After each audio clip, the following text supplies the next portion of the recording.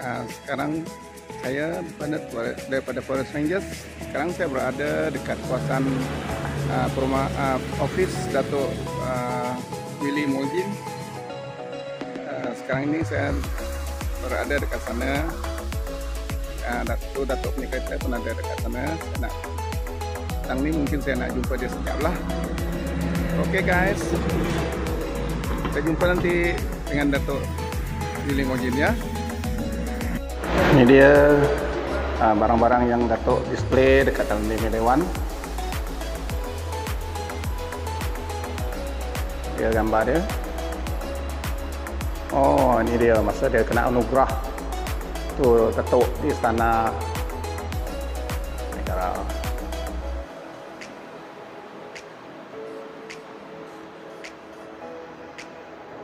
So dia IB Datuk Willy Moj anak Mojin. Okay. I'm here. okay, good evenings. Uh, I'm I'm now with uh, Datuk uh, Willy Mojin's uh, office. Consider office lah, huh? All right. So now I'm with uh, beside him. I also have Mr. Baklan Rimba. So today uh, I'm met Datuk. We want to talk about social economy. economy. Yeah, right. Yeah. Uh, so I think I leave the the question and answers to Mr. Baklan and Datuk itself lah. Thank you, Okay. thank you, thank you. So, Put that. yeah. So, Dato, my question is, okay, as we know that they are also infighting now, who is going to be the chalon for MP? Hmm. But that's not why we came here to drop by to see you. Hmm. We came here because we want to know also what what is your game plan hmm. when you are going to be re-elected as MP of Puncak Borneo. Because obviously you have you have everything in your hand now being a minister you know everything's in your hand now and the people have given you a majority vote during the previous PRU 14 so now you are considered the incumbent because you have such a huge majority. So the issue that we want to ask and we want to know now which we are very curious also is about how are you going to develop the social economy of the whole of Puncak Borneo from Serembu, Mambong to Tarat? Okay. Now, what are your game plan for the future? Because obviously you you have the majority vote. So how people vote during PRU 15 is going to be another ball game. But I'm sure that you still have retained a lot of the support. So we just want to know, you know. Yeah. So yeah, Really leave it to you. All right. Uh, thank you uh, to Mr. Uh, Bak and also to Mr. Bernard uh, Iro uh, for dropping by uh, to see me, and I really appreciate your presence today uh, to both of you. Uh, basically, um, I want to uh, go back to the uh, chronology of the whole uh, things in our uh, parliament and our constituency. You see, uh, in 2018, uh, basically I I was uh, elected, uh, and today I'm still the MP of Puncak Borneo. And of course, when I being elected in 2018 uh, till today, it's very unfortunate for me where just about after 22 months we have uh, a government change. And after that we have the uh, pandemic uh, COVID-19 and uh, throughout this uh, pandemic uh, approximately about two years uh, there's a lot of activities uh, being halted. So uh, um, that not much uh, we can do neither from the uh, activities and so on. And uh, this is something that is uh, very unfortunate for us. But despite that uh, even though uh, during the very short tenure um, there's a lot of uh, uh, development, and uh, I'm actually focused on uh, uh, this uh, uh, charitable kebajikan and also the uh, social development and also basic infrastructure. Because I believe um, we basically have to empower our human capital. So therefore, I'm basically uh, put effort, uh, a lot of effort to give incentive to students uh, because I believe that uh, only uh, by giving them education and support them, that's why I came out with the incentive to give incentive to the UPSR uh, student that achieve a good result. And also I gave the incentive to the student that can enter universities where um, for the diploma, we gave them uh, 300 ringgit as an incentive and for degree, we give them uh, 500 ringgit. So with this small token, we'll give them a, a moral, uh, uh, what they call that, motivation for them to to study hard and to strive in their study and to be someone one day. Because um, why we need to empower and also to to enhance and to strengthen our our human capital in Puchak Borneo simply because when we have a lot of uh, educated community, um, they will basically have the opportunity to serve and uh, they can become uh, a good uh, employees. They can work with any big uh, uh, employers, not only locally, but they also can go all over the world. And number two, when we have a lot of uh, a student that uh, strive uh, up to university and we have a lot of graduate, we have a lot of educated people. And even though uh, we don't have uh, educated people, but we also empower the uh, unfortunate group where those that is uh, uh, cannot pass their exam or the drop-out student, we also gave them a second opportunity. That's why I, I look into uh, opportunity to give a second chance, the program called Second Chance, where we uh, basically gave them an opportunity to uh, study more skill like uh, pembuatan coklat, uh, buatan tangan, and then we sponsored them. Uh, recently, I sponsored about uh, 58 uh, dropout student uh, or uh, dropout youth that uh, don't have the opportunity to further their study to learn uh, driving uh, E-class.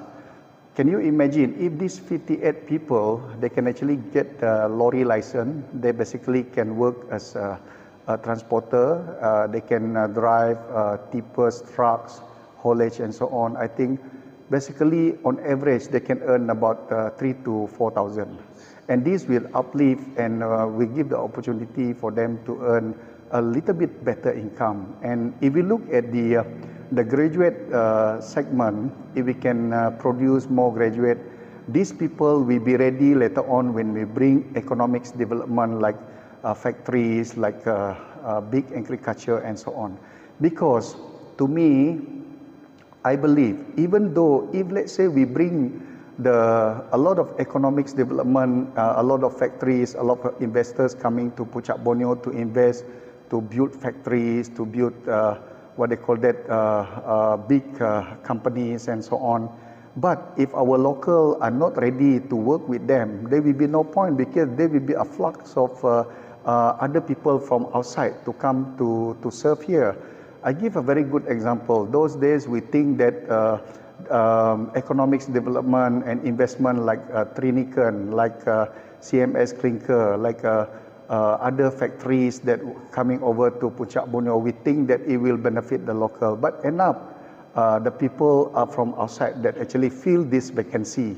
So why is that so? Is because one of the reason that I probably foresee is because of we don't have our human capital to serve them maybe uh, they do not have uh, qualification or even if they have a qualification but they would prefer to do uh, other other types of industry. For example if someone is graduated with uh, uh, what they call that chemical engineering they might want to work in a big conglomerate and so on.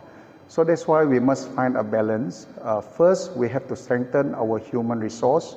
We have to basically have more people from Puchak Borneo that is academically educated and also exposed. And for those people that do not have the academics achievement, we actually can give them more TVET courses and so on, so that they are ready when, when the times come, when the infrastructure is ready in our constituency, in our Puncak Bono constituency, then uh, a lot of investors coming, then they are ready to serve. So uh, that is what we want to see. So that is a, a, a game plan that we want to do. We basically want to make sure that our human capital is ready. Then we can bring in uh, investors to come in. And secondly, we also would like them to basically look into uh, the opportunity that is available because government provide a lot of opportunity for those uh, young agropreneurs. And uh, you know, uh, we, uh, the Dayak area, especially in Puncak Borneo, we are encompassing of 70% uh, of the Uh, voters here are all Bidayu. And uh, being a Bidayu, uh, we have a lot of land that we actually can develop, not in terms of big scale, but we also can start small first. Um, there's a lot of idle land that we can uh, can develop, and um, people mindset also have to change because no matter what we do, if let's say the people mindset doesn't change, we cannot change a lot of things. Uh, because now, like uh, from my ministry alone, we also have the opportunity to have the uh, um, new uh, uh, palm oil plantation, and then the scheme for the smallholders and all this. And uh, the government also provide a loan which is very minimal, whereby they can plan, uh, they can apply and plant the uh, palm oil, and then later on, after five years, when the uh, the crop start to uh, uh, produce the production, after five years, then they can actually pay their loan. So it's not necessary to be immediately they can pay. So they have a buffer of five years to service the loan, which is quite reasonable, and the interest is very low. And if we look at the agri-commodity sector, we have uh, also in pepper industry now the price of pepper is already about 60 ringgit per kilo for black pepper. And uh, I, I've seen uh, quite a lot of successful, um, what they call that, uh, smallholders that basically planting this agri-commodity, they can uh, have a good income. Can you imagine if let's say they can produce uh, 1,000 ton, I mean 1,000 kilo, one ton, they can already have about 16,000. So uh, from our ministry, we also provide the opportunity to have a scheme for new planting for the uh, pepper and also for the matured pepper uh, program uh, uh, subsidy lada matang. So uh, if they have approximately about 200 vine, they also basically can give this, get this benefit from the government to get the subsidy and so on and the fertilizer and agriculture input assistance.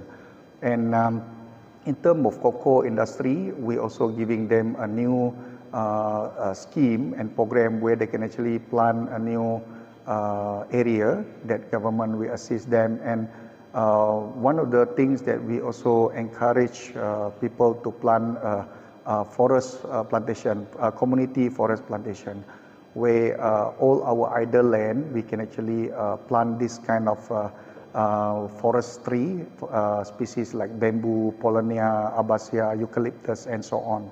And uh, after uh, four or five years, these people can harvest and basically sell it to the sawmill and, and basically can get uh, income. In uh, the model in Indonesia, basically they, they do the forest, community forest plantation. They basically can plant it like vegetables where they plant everywhere in the idle land and so on. They also plant it at the backyard. And uh, from here, when they, they harvest it, they can just sell. So this will also bring uh, more income to the community. And of course, um, I want to see that we become the uh, agriculture hub and also ecotourism hub. Uh, in Puncak Borneo, uh, we also uh, see there's a lot of ecotourism uh, potential, uh, a lot of nice place that we can develop as uh, ecotourism. And uh, this will basically, if we do it well, we do it right, we can basically generate uh, income for the villagers. And uh, not only villagers, but those people that involved in the tourism industry, like tour guides and all that.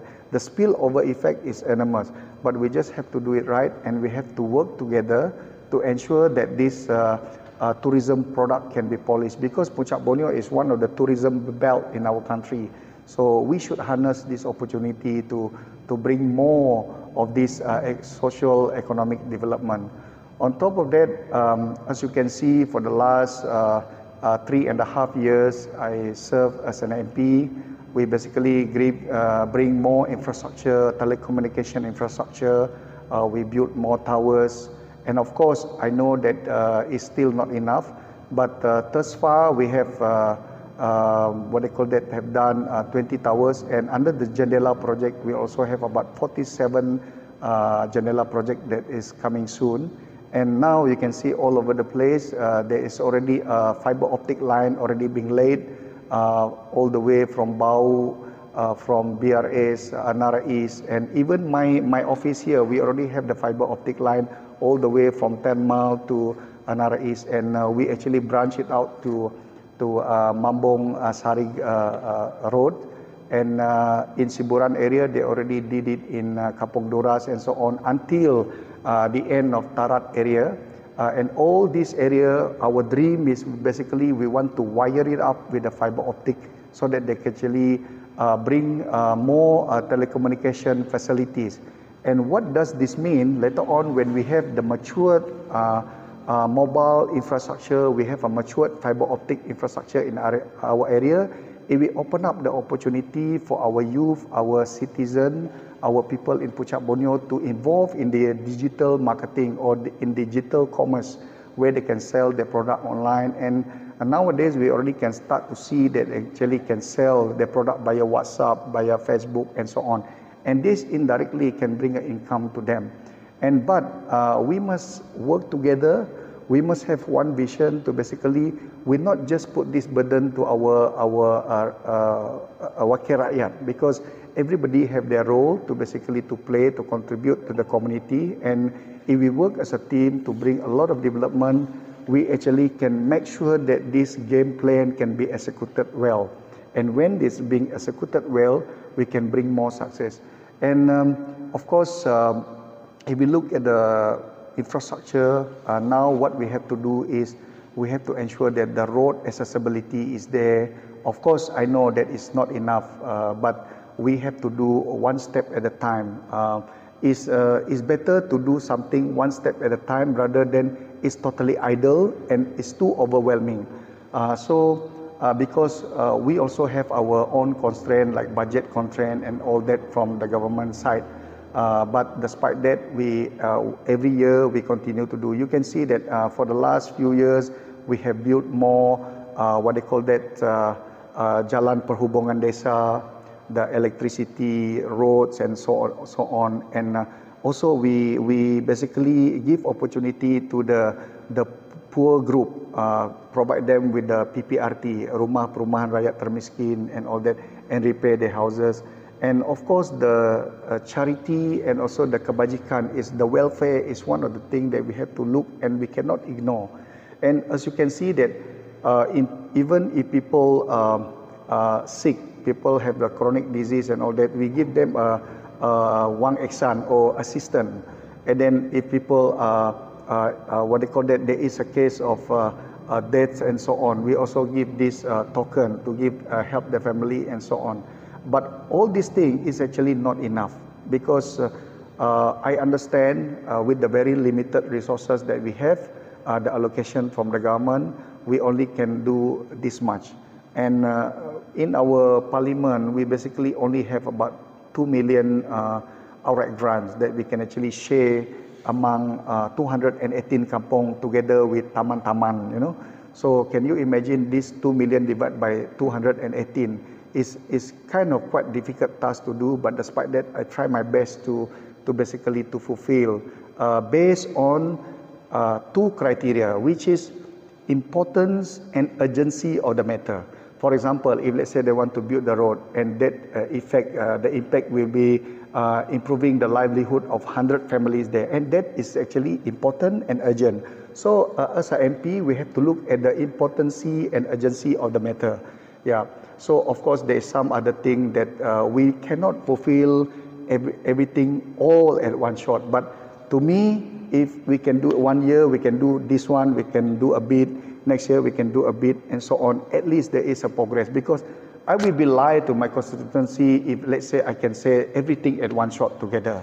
It's uh, close to uh, impossible. But not not that I'm saying that is uh, impossible, but uh, we, we have to be realistic because we know our capacity. So when we look at we, we look at our capacity, uh, this much we can deliver. You know, so uh, that is what I want to do. And uh, on top of that, we also want to bring uh, a lot of welfare assistance to our people. And the reason why I want to to bring this because I want to basically uplift them from the poverty group to the level that they actually can be independent. So for the first uh, for the first level, we assist them first, and then at the second level, we must guide them. We must give them motivation. We must teach them how to come out from their uh, poverty box. Uh, so that effort is basically ongoing process now. So it will take a lot of time, and uh, apart from that, we also looking at uh, those uh, infrastructure, like I said just now. In Puncak Borneo, we already uh, have a few kampong that do not have roads, which is uh, uh, Biak Jabir, one of it, which we already got the approval from KPLB for 24 million to basically to build the road, which is going to be a tender soon. And other kampong like uh, Kampong uh, Mbuk Ayun, Kampong Sting, uh, Kampong Nyegol, these are the kampong that actually they move after uh, the construction of the dam and after the uh, dam been uh, being uh, impounded. Uh, so they have to move the higher ground. And uh, these are the kampong that do not have the access road at the moment. And it's not because of the government do not want to build the road, but basically that area have to be gazetted and the perimeter, uh, the perimeter survey of the dam must be, uh, must be surveyed uh, in order for them to uh, alienate the area and then do the infrastructure of road and so on. And um, on top of that, uh, there is some kampong that still do not have electricity, like Kampong Sapit, uh, of which recently we already got the approval for them to have the the uh, uh what they call it, the electricity supply, and um, is going to be implemented somewhere in uh, May or June this year. And uh, other area, I think they're already well connected. So basically, in Puncak Borneo, we already have the area already well connected. Now we have to look at the a circular economy where we have to ensure that while there's uh, have a development, there must be also a balance. There is where we have to look at the environment because uh, to have a sustainable uh, environment development goal is also important. So therefore, I actually started to build a bin center. Uh, my effort to build the bin center for each kampong to make it proper so that when people enter your kampong, people can see that oh your kampong is very clean and then you dispose your garbage and uh, your uh, your uh, uh debris uh, nicely and it's all organized whereas um, in the past if we enter the kampong we can see all the garbage the debris is everywhere so these are the effort i have so far uh, have built quite a numbers of bin center to ensure that our our rivers is clean and our village is clean, people can dispose their, their garbage into the specific area. And the impact of this is, is very, uh, um, you can call it uh, tangible or intangible. Because the impact is you can have a healthy people because you do not know what kind of virus that may be generated from that debris or that, that uh, uh garbage, you know. And number two, we also can protect our rivers because if, we, if they don't uh, dispose their the garbage uh, properly in the kampong, they can just throw it all over the place and they can throw it to the river. And then the impact is basically the river become the tea is very ice, uh, ISO kind of uh, uh, environment and it's also going to uh, affect the, uh, the, the aqua, uh, uh, what they call that, uh, uh, ecosystem. So that is the thing that we have to look at. So um, that is on the uh, environment side, and uh, we also have to look into the spiritual side. So that is where uh, I'm also supported a lot of churches, uh, a lot of uh, uh, masjid, surau, and even tokong. So that's why I'm basically in Senyawan. I basically requesting a special fund from yeah, Prime Minister to basically to give 200,000 for them to build ada tokong and then every tokong in Puncak Borneo I gave them 50,000 and all the churches I also give them uh, fund and so on to basically to ensure that they have the activities for the spiritual activities and so on and we, I would like to help everybody and I do not want uh, certain people to be left out because I believe this is a shared prosperity. We have to work, but I believe, yes, I know, I acknowledge that maybe it's not enough, but it's a work uh, in process. So therefore, if uh, once I begin uh, be given another mandate, I have to continue to serve to see more uh, to uh, solicit more project from federal to bring it into our constituency so that our constituency can prosper so that our state can prosper and then our country also can prosper together. So that is uh, the bigger game plan. But there's a lot of things that i would like to share but due to the very limited time uh, maybe we can share it other time. But i really hope that uh, we can bring more uh, uh, changes to our community not only in terms of development but also in terms of uh, um, what they call that uh, spiritual and academics and uh, human capital development. Thank you. Thank you, Dato, for giving us a brief of what is your game plan. And also, I believe that it's very holistic in nature because it takes into factor all those spiritual as well as material well into consideration. Yeah. So yeah. I think it will be good for the the whole constituency of Puncak Borneo yeah. that we have this kind of growth mindset growth uh, potential for everybody, not just a specific person, but the whole group and category of people to be yeah. encompassed into the whole game plan. Yeah. So we would like to ask another just short question, okay? Yeah. Just short question. So how are you going to go in? Let's say this is very very. Let's say if GPS would not want you to be the MP and they have their own uh-huh. candidate. As yeah. we know that they had three main candidates, which is Councillor Nick, Rangen, and Wijok. Mm. So, which party are you going to use? Are you going to use Bersatu or are you going to go for independent or how? Can you just, just, just? Uh, this is very, very a lot of uh, technical. yeah, I think that is a very. Uh, um, uh, tough question to answer. But you see, uh, basically, um, I'm actually being being parked to uh, to give the supply of uh, confidence to the government, and therefore I'm basically supporting a Perikatan Nasional last time, and now it's under Perikatan BN kind of uh, coalition. So basically. Um, I, I will leave it to the top leadership of uh, GPS, I think, and also hopefully they can uh, give due consideration and uh, to me I can I can serve and work with anybody. Even while I was in opposition I basically work with everybody for for the sake of people uh, development and also uh, for their well-being. Uh, because we I believe it's not that I say that I'm not indispensable. There's a lot of intelligent and smart people but uh, being smart uh, is not necessary that we can actually uh, serve uh, in, in that particular position. So it, it depends on how we basically uh, do our PR with the federal ministers, our connection and our experience and so on. That we contribute to how we how effective we can serve our constituency and basically we also have to be um, uh, what they call that accepted by the uh, uh, what they call it, the voters in our constituency because at the end of the day, uh, the voters will decide.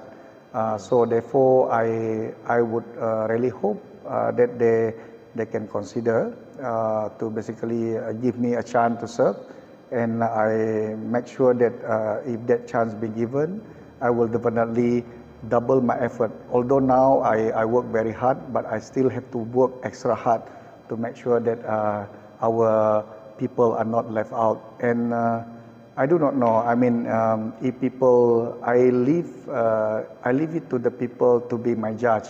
I mean, I do not want to to say bad things about anybody. I think uh, this uh, inspiring uh, candidate, uh, they have their their own very rights because it's a democratic countries. Everybody have a fair chance to basically to showcase and also to basically to offer to their voters. So, uh, so as an incumbent, I'm also not left uh, behind. Uh, I also want to tell people to look into what I have done and how I have uh, served my uh, kawasan so far. and uh, hopefully uh, they will see uh, things that I have done. So uh, I know that uh, we cannot do a lot of things uh, within this uh, uh, three and a half years. Uh, there will be still another another term which is aspiring next year in some way in uh, in May, but I do not know whether the election will be called earlier. But um, I would say that I, I have not rest uh, uh, and uh, shake my leg. You know, I have uh, done my very best. But if the people think that my very best is not enough, they are free to, to make a choice. And uh, as an incumbent, uh, I also have to uh, defend my seat. But like what I said, uh, I'm ready to work with uh, GPS if they're given the chance. Yeah. Thank you.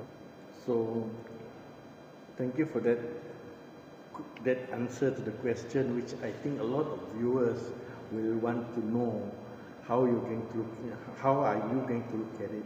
So, any word of uh, encouragement or positive motivational words for the voters? Yeah. I mean, I'm sure that they want to. Yeah, I, I would like to urge to the voters uh, to give me the opportunity to serve. And you have done uh, how I have worked for the last uh, three, four years. And uh, I really want to strive further to bring our uh, uh, constituency to the next level. And I want to deliver more. And of course, we have to work together to ensure this uh, become a reality. I mean, uh, we cannot build our kawasan in one day, but uh, if given a chance uh, to uh, serve uh, another terms, uh, that will be a lot of things that we can bring to our people. And I hope that uh, all the effort that I have done uh, is up to you all to make a decision. But I just appeal that you will give the support to me when I become the candidate in PRU 15 later on. Thank you very much, and may God bless all of you. Thank you, Dato, for Thank you. answering all the three questions. Basically, first is your game plan for the socio-economy of Yeah. Borneo. Second is with regards to your position within the GPS and within the government, how is the stand going to be, and then third is your appeal to the voter to, you consider you as a candidate for this coming PRU. Thank you. Yeah, thank you. Thank you. Thank you. Thank you very much. Thank you. Thank you. Thank you. So, uh, Dato, uh, Dato Willy Mojin is uh, uh, Deputy Minister of Uh, plantation and commodities. Plantation Commodities. Yeah.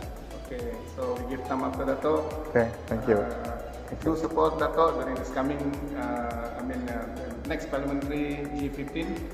So, uh, do give Dato a full support because he's a very nice, uh, our YB for Puncak Borneo. Thank you very much, Dato. Don't forget to like, share, and subscribe to our channel for the Stranger's Kitchen. Thank you very much, Dato. Thank you. Bye. Bye. Bye.